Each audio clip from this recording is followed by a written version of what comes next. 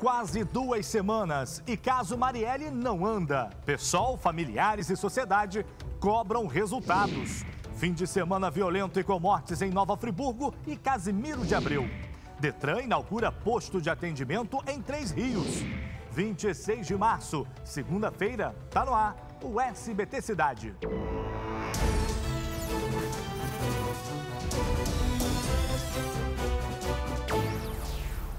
Olá, boa noite, meu amigo, boa noite, minha amiga. Bem-vindos ao nosso jornal. Vamos juntos aí até esbarrarmos no seu SBT Brasil com as notícias de todo o interior do estado e também da capital do Rio. Vamos começar a edição de hoje falando das quase duas semanas que se passaram e pouco se sabe ainda sobre os suspeitos que perseguiram e mataram a vereadora Marielle Franco. A polícia corre quanto tempo porque a cada dia que passa, encontrar novas pistas se torna ainda mais difícil. Quem matou Marielle? A reportagem é de Léo Santana. Pode rodar. Câmara de Vereadores do Rio de Janeiro. O nome dela continua lá, numa das primeiras fileiras do plenário.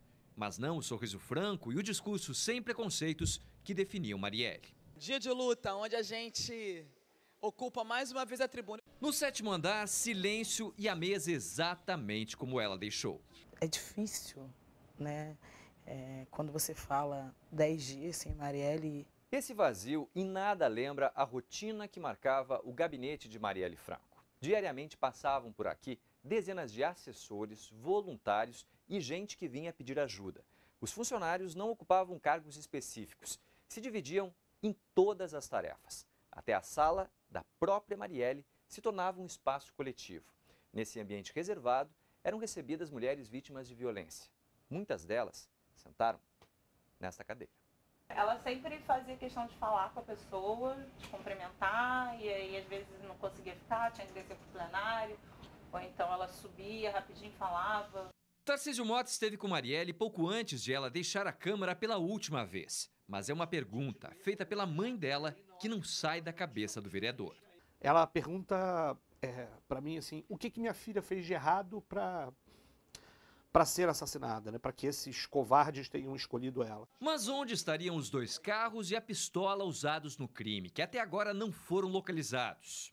Em virtude das equipes que estão envolvidas, do grande número de equipes de policiais e de promotores, os resultados não são os esperados. Né? Dez dias seria tempo mais do que suficiente para se ter um resultado mais palpável. Imagina a investigação de um caso comum.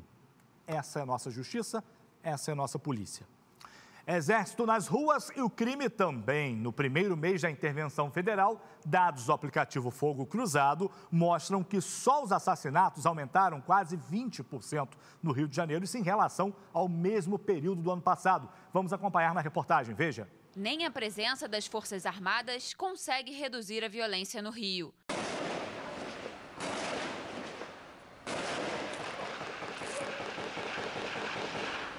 Segundo um levantamento do jornal Correio Brasiliense, com base nos dados do aplicativo Fogo Cruzado, 150 assassinatos foram registrados na capital fluminense e na região metropolitana entre os dias 17 de fevereiro e 17 de março. No mês anterior, foram 126 homicídios, um aumento de 19%. Já o número de feridos à bala no mesmo período diminuiu, foram 83 casos contra 131. As ações policiais subiram de 112 para 132, incluindo as operações das Forças Armadas nas estradas para impedir o roubo de carga.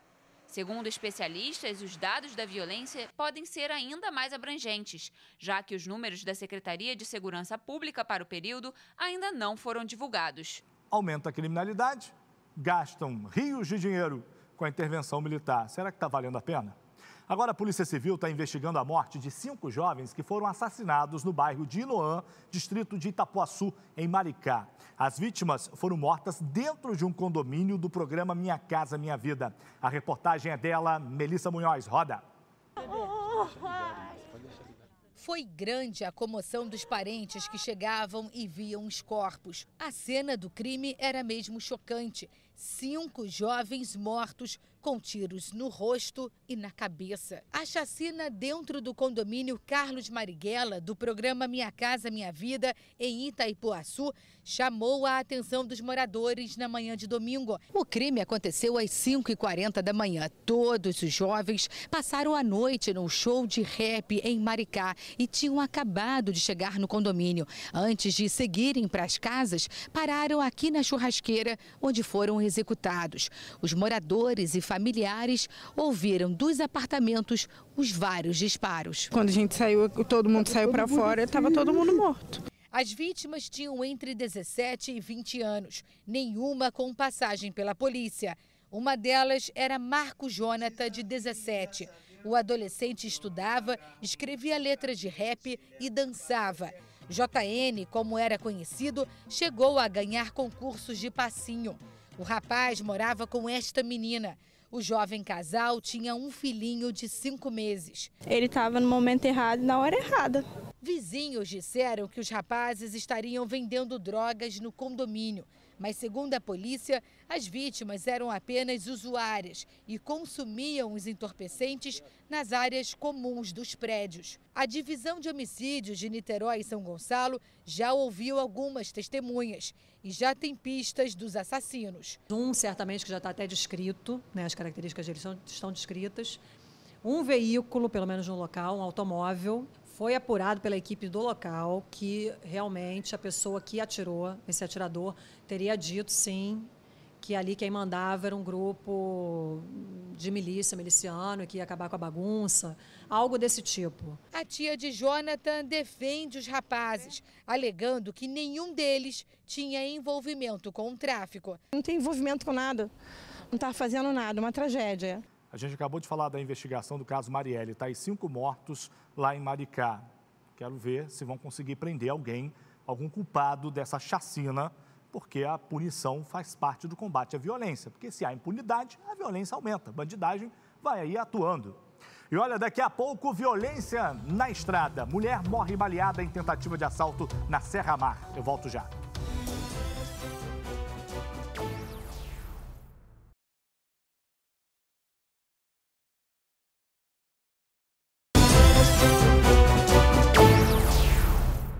Olha, voltamos um intervalo, vamos falar de violência. Um homem de 36 anos foi assassinado e um policial militar baleado em Nova Friburgo, lá na Serra. O homem morto era integrante da escola de samba Imperatriz de Olaria, campeã do carnaval desse ano na cidade. Vamos à redação, vamos abrir a janela aqui para falar com o nosso querido Carlos Miranda, que está lá na cidade de Petrópolis, tem as informações para a gente. É, Carlos, a polícia já prendeu o atirador? Já se sabe quem cometeu esse crime? Olá, Salutiel. Olha, segundo a polícia, esse suspeito já foi identificado, mas está foragido. Na tarde de sábado, ele matou com um tiro na cabeça Rafael Valeriano, conhecido como Rafinha. Ele era integrante da escola de samba Imperatriz de Olaria, que inclusive ganhou o carnaval deste ano na cidade. Segundo a PM, Rafinha estava recebendo ameaças. Durante a fuga, o suspeito trocou tiros com a PM e um policial militar foi baleado no ombro. Ele foi levado para o Hospital Raul Sertan, passou por uma cirurgia, mas não corre risco de morrer. Olha, na casa do atirador, a polícia encontrou uma arma calibre 380 e um carregador com 17 munições que foram apreendidos. Até o momento, a PM não informou qual seria a motivação deste crime, Salutiel. Ok, obrigado, Carlos, pelas informações. Tem que descobrir agora o autor desse crime, né? Não é possível ficar impune. Agora, mudando de assunto, o Carlos está aqui, vamos trocar, entra a Babi aqui pra gente. Olha, tentativa de assalto na região dos lagos termina com uma mulher morta e outra ferida. Tudo aconteceu na estrada Serra Mar, altura de Casimiro. Babi, Conta pra gente como tudo isso aconteceu. Oi, Salu, boa noite, boa noite para todo mundo. Olha, tudo aconteceu por volta das quatro e meia da manhã deste domingo. De acordo com algumas informações, homens armados renderam duas mulheres que estavam em um carro nas proximidades da estrada Serra Mar no sentido Casimiro de Abreu. Elas se renderam, levantaram as mãos, começaram a se movimentar para sair do veículo. Nesse mesmo momento, um outro veículo, ainda não identificado, surgiu na mesma direção em que elas estavam. Homens que estavam dentro desse carro começaram a atirar na direção delas. Uma das duas foi atingida, a que estava no carona.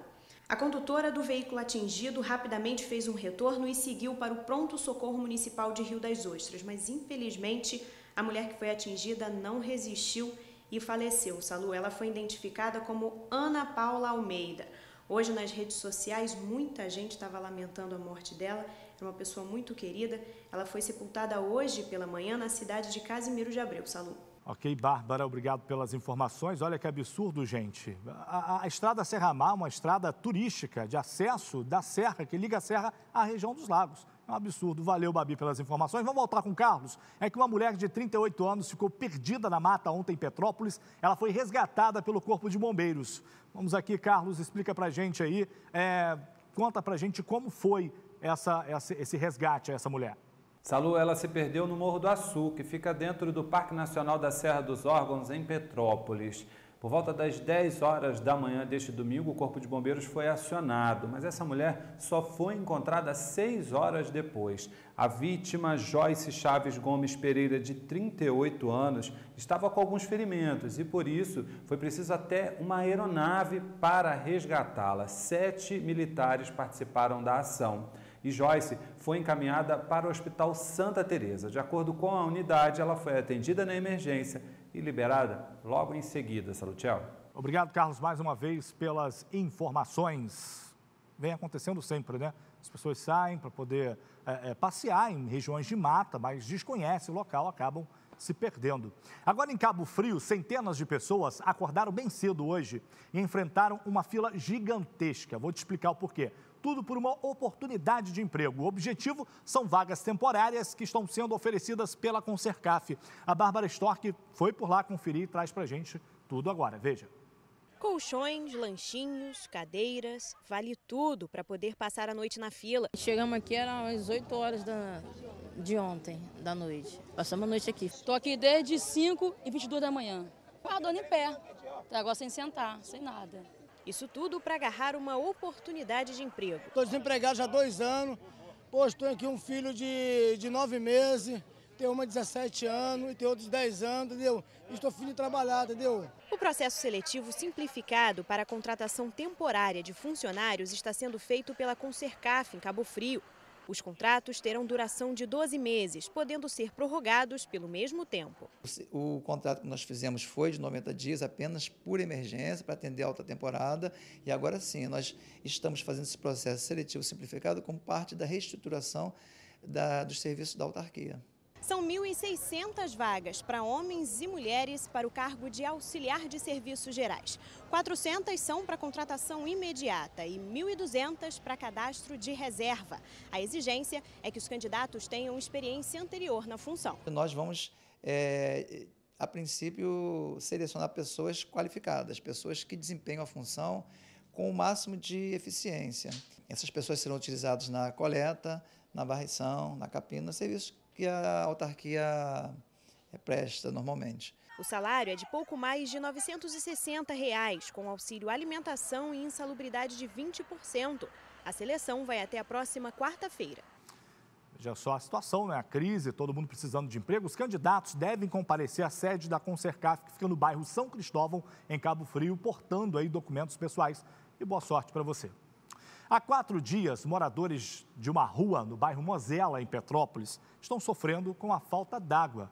A companhia até mandou caminhões-pipa para tentar amenizar lá o problema, mas nem todo mundo foi abastecido. O jeito está sendo viver sem água. Vamos ver na reportagem do Carlos Miranda. Acompanhe.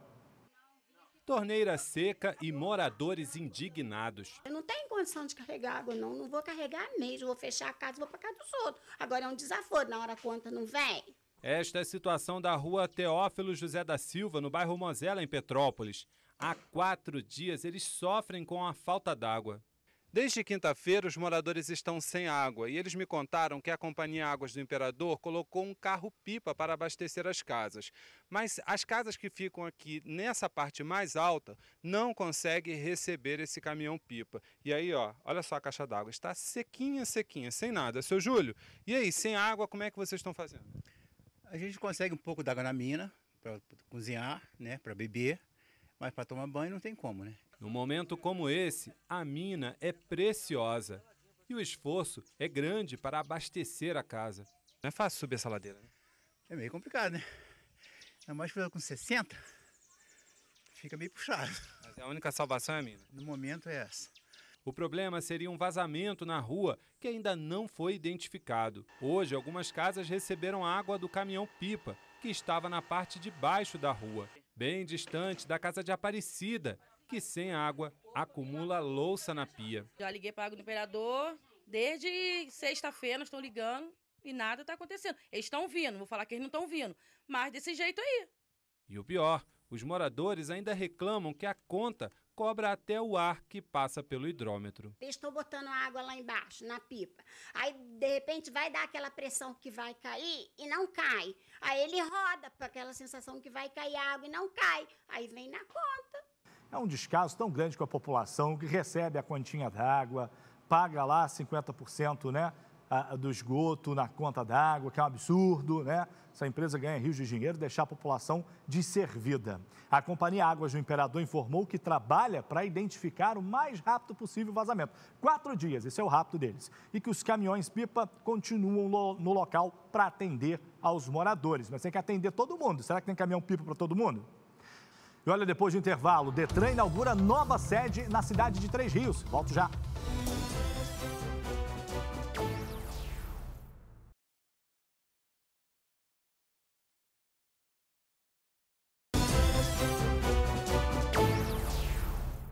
Vamos seguindo então. Olha, foi inaugurado sábado um novo posto do Detran em Três Rios. A nova unidade fica no centro e tem o objetivo de facilitar o acesso da população da cidade e de municípios vizinhos aos serviços que são oferecidos pelo órgão. Vamos ver na reportagem. Carlos Miranda.